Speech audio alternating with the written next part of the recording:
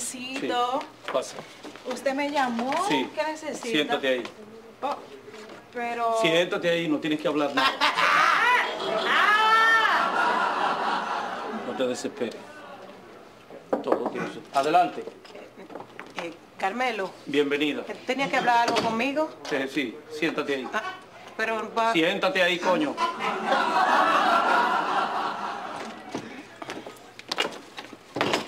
Carmelo. eh, Sí, tú- siéntate, siéntate. Ah, ok.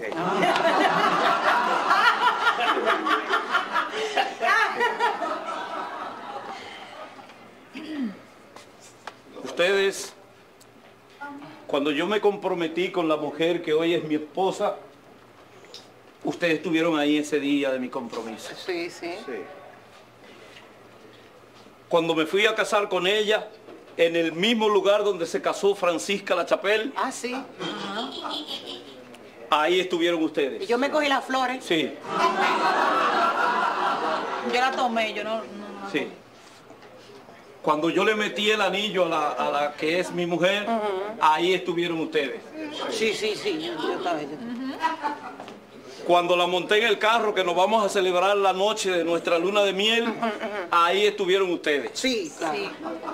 Pero cuando yo estaba celebrando la luna de miel, ahí no estuvieron ustedes. No, no, Gracias a ¿Tú no quisiste que fuéramos? No, estábamos escuchando. no podía permitirles que estuvieran conmigo ahí, porque ya ese es el momento íntimo. Sí. Pero cuando yo estaba con ella en la intimidad, los llamé a cada uno de ustedes para decirles sí, era como yo pensaba. Pero por cierto, todo ¿qué está en pasó? su ¿Qué pasó sitio. ahí? ¿Qué pasó en la ¿Mm? intimidad? ¿Qué pasó? ¿O tú no oíste los gritos? Hoy que me voy a separar de esa mujer con la que me casé, quiero que también ustedes estén presentes. Ay, Dios. Ay, Dios, qué mal. Yubelkis.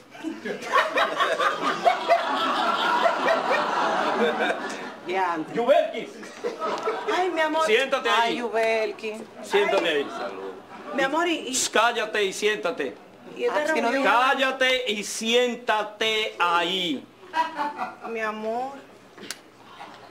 Esta mujer que ustedes, ¿Y qué?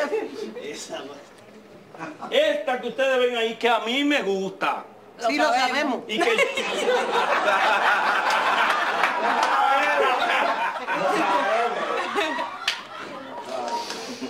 Esta mujer me ha estado siendo infiel por dos años. ¡Cállate! ¡Cállate! Porque no te puedo ir hablando. ¡Cállate! ¡Cállate! Pero mi amor. ¡Cállate! Te dije. ¡Cállate! Tiene dos años. Dos años. Acostándoseme con el chofer. Acostándose. Pero, Yubelkis. Yubelkis, siéntate ahí. Siéntate, Yubelkis. Mi amor, pero. Yubelkis Peral. Digo. Digo. Yubelkis. Yubelki. Yubelkis Pérez. Cállate. Dos años acostándose con el chofer. Y yo, yo como un macho estoico, la he visto cuando se monta en el carro con él y la he seguido. Porque ella me dice voy para la feria y termina en San Isidro. Entonces yo no he querido llegar hasta allá y me he aguantado estos dos años ahí.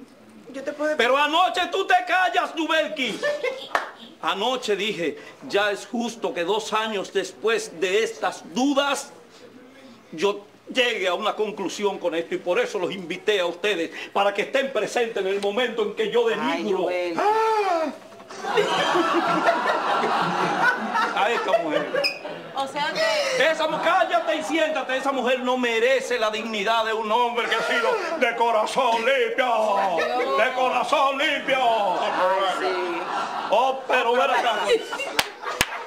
Así que hazme el favor y llámame al chofer. Mi amor, yo te puedo. Cállate y no me expliques nada. Llámame al chofer. ¡Chofer! ¡Chofer! Llámame al chofer. Ay, Dios mío. Buenas, buenas tardes. Buenas tardes. No, no, miren qué desgracia. Aquí, Miren aquí. he aquí mi Con presencia. este huevón. ¿Qué?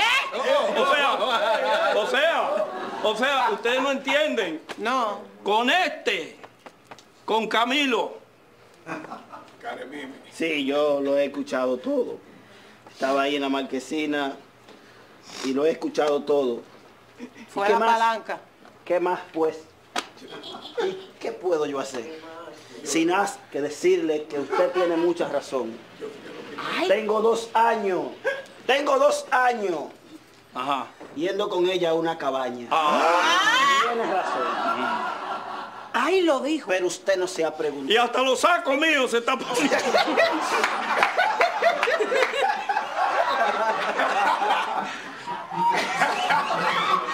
Yo me siento parte de esta familia. Y sí, voy a una cabaña con ella.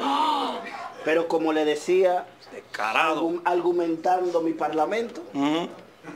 Cuando yo voy a una cabaña con esa joven que está ahí, Sí. ni yo le pongo la mano a ella, ni ella me la pone a mí. Coño, ¿por qué soquete?